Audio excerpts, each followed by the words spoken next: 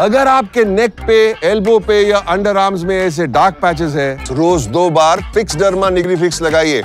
Bye bye dark patches